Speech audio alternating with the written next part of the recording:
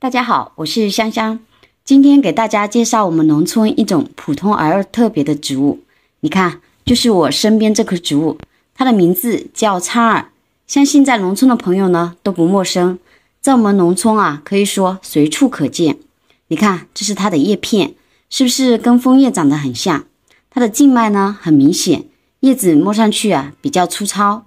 这是它的茎秆，发现没有？茎秆呢是不是跟茄子长得很像？不看叶子，光看它茎秆的话，真的会误以为是茄子呢。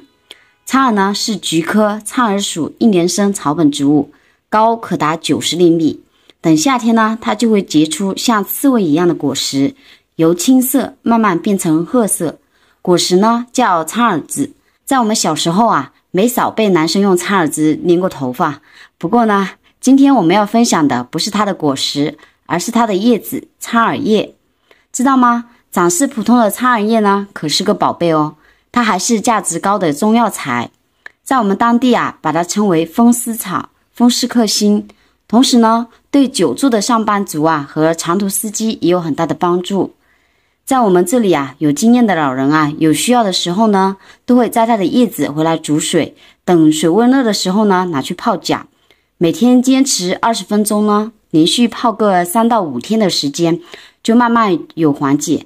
所以啊，看似小小的植物，却凝聚着大大的能量。朋友们，对于我说的这个苍耳叶的价值，你们有了解吗？有什么见解，也可以在评论区留言互动哦。好了，今天的视频就分享到这边，我们下期再见，拜拜。